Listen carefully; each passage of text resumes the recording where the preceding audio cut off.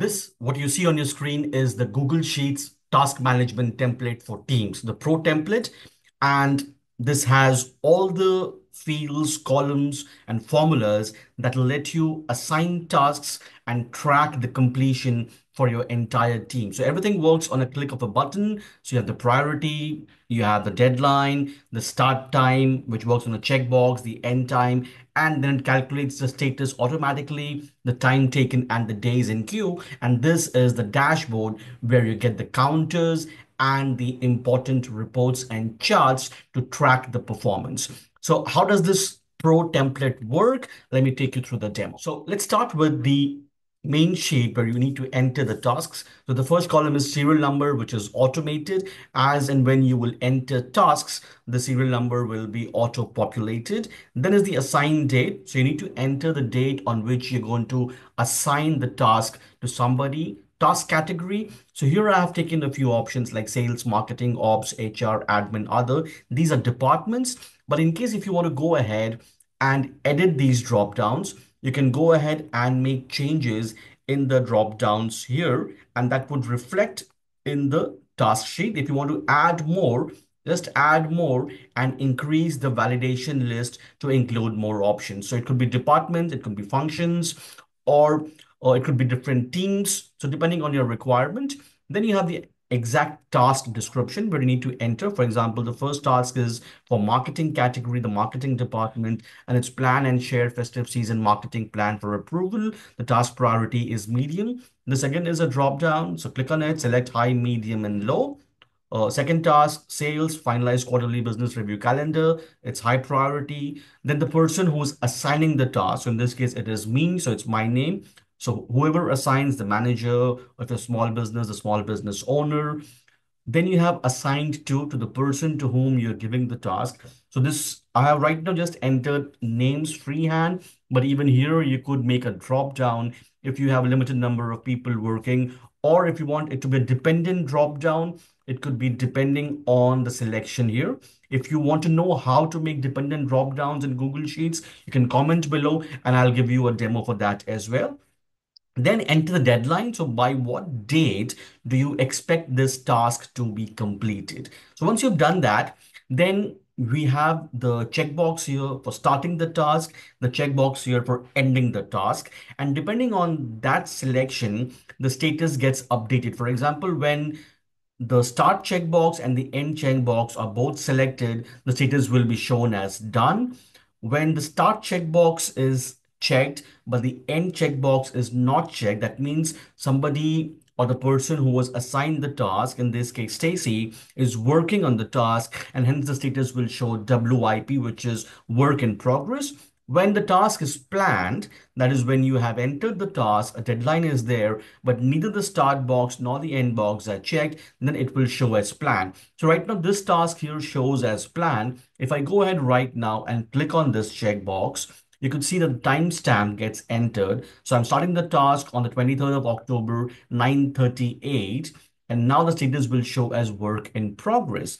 The moment I click on the end box, for example, this task, uh, I had started yesterday when I was making this template, which shows as WIP, and Right now you can see the time taken is blank because the task is not complete. The moment I check this end box, the status will change to done. And it says that it took us 21 hours 11 minutes 37 seconds. And this task was in queue for seven days because the task was assigned on the 16th of October and it's completed on the 23rd of October. So it took us seven days. And given the deadline here's the deadline which you had entered. So as per the deadline and the completion time, it will tell you if the task was completed on time or not. So here, this task, if you could see, the deadline was the 19th of October. The task was started late and hence it finished on the 22nd of October. Hence it says no. The remaining three tasks were completed on time. And then here's a remarks column. You could go in and add more columns if you would like. Uh, another important highlight is that if there's the deadline of the task, is before today. So today is when I record this demo, it's the 23rd of October, whereas the deadline of this task was the 21st of October. So in that case, the task itself will be highlighted in red. So if you as the person who's supposed to do the task or as a manager or as an owner are reviewing this and if a task here shows in red, that means that the person has not started the task and the due date is already over. In case if I go ahead and start the task now, you could see the head deadline is removed. The highlight is removed because now the status is work in progress. But if I remove this, we could see it's back to planned and it's back to a red highlight. So here you have about a thousand columns. You could go ahead and add more columns uh, for tasks, but I think thousand is good enough to get started, but you could add and the formulas will be extended. So just need to go ahead and enter task. If I enter a test task here, you could see that the serial number gets populated. The assigned date is today, which is 23rd October 24. Let's say uh, it's for ops. The priority is low. Nitesh Aslum. The deadline is 30 October 24. So now you can see again, it shows as planned. And now we go to the dashboard. The dashboard will tell you that there are 12 tasks planned, out of which four are completed, three on time, and two are work in progress. So if you go to the task sheet, you can see there are T12, there are 12 tasks. One, two, three, four tasks are completed, two are work in progress. So the dashboard will give you the entire counters. It says 33% of your tasks are completed, and out of the completed tasks, 75% were on time, 17% are work in progress, and then you get a nice report here category wise.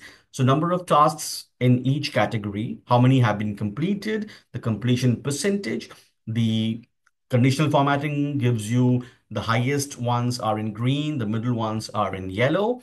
On time, again, the on time percentage, the same conditional formatting. It tells you the total time worked. So you could know basis every function and every category, how much time was taken to complete the tasks. So just uh, gives you an indicator of the productive hours and the average days in queue for the particular department or whatever category you would like to add. And here is just a bar chart to give you a counter of the tasks department wise.